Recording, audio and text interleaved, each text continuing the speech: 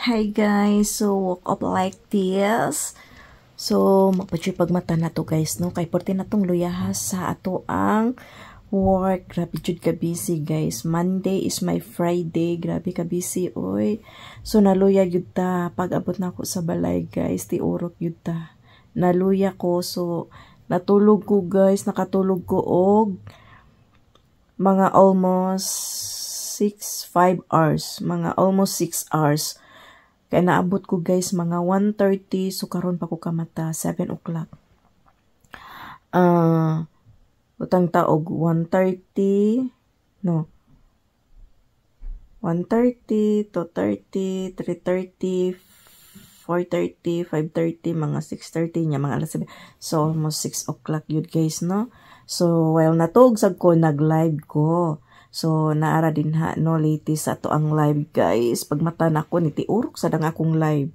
Ni-stop sad siya, so ako na nasa siyang stop So, nindot kayo guys sa pamati, no, i-share lang nako ninyo, but sa tong pagmata pa, huwag mo ni ato ang makita, guys, oh. Mm. Mm, diba? Sana, oh. Thank you for watching.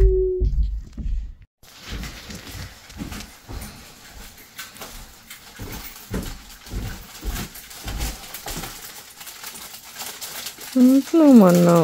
Uy. Halos ko flower pa. Anniversary na nato. Ha? Anniversary na nato. Sa anniversary? Eh, kalayo pa. Uy. Sayo siya ba? Layo. Kadagana na oh. Ganahan. A different color of flowers. Wala, uy, sa na, uy.